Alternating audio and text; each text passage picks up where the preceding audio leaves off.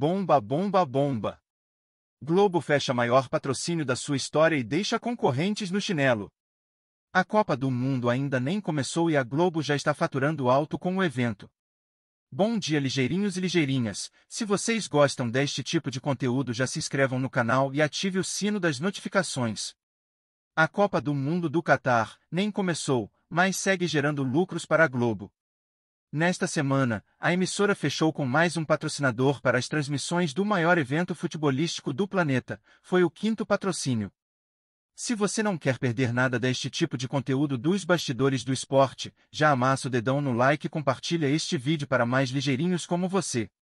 Uma das maiores marcas de celulares do mundo, a Samsung, que patrocina também a cantora Anitta, fechou um acordo bilionário com a Globo e terá sua marca exibida nas transmissões dos Jogos da Copa do Mundo.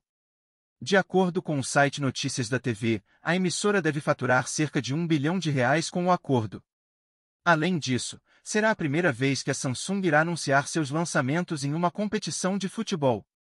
Os coreanos costumavam expor seus produtos em programas de entretenimentos, como o BBB e novelas da emissora. O valor exorbitante se dá ao fato de que a empresa coreana também comprou um espaço na Sport TV, que é afiliada da Rede Globo e vai exibir os jogos da Copa do Mundo em canal fechado.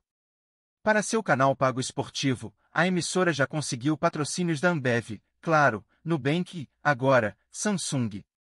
Mundial de Futebol na Globo, veja os patrocinadores. Além da Samsung, as empresas Claro, Itaú, Ambev e Magazine Luiza já fecharam acordo com a emissora. Nenhuma das cinco pagou menos de 200 milhões de reais para ter seus produtos anunciados no evento da FIFA. Se você gostou do vídeo, deixe o seu like, compartilhe e deixe o sino ativado para não perder nada que eu postar aqui. Se inscreva e volte sempre, obrigado!